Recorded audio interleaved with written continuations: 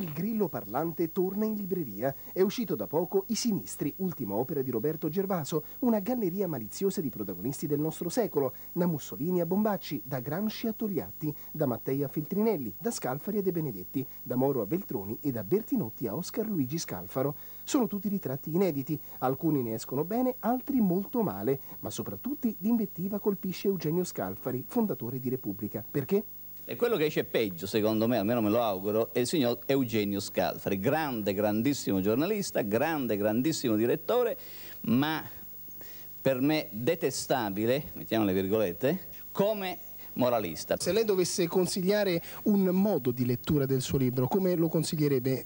Beh, bisogna cominciare secondo me dai personaggi di attualità, perché io credo di essere, l'ho scritto il ritratto di Bertinotti, per esempio questo samurai rosso, questo subcomandante Faustos, che crede che di trasformare l'Italia in Cuba, se andasse al potere la trasformerebbe, e certamente io sei mesi fa ho immaginato che prima o poi ci sarebbe stata una crisi, ma una crisi a commedia degli inganni, così tanto per dare un contentino alla base che era un po', un po', un po nervosa. E quindi cominciare con i personaggi viventi, con i personaggi viventi ed arrivare fino a Scalfro, che sicuramente non è, non è di sinistra, è diventato di sinistra per ragioni che lui sicuramente sa.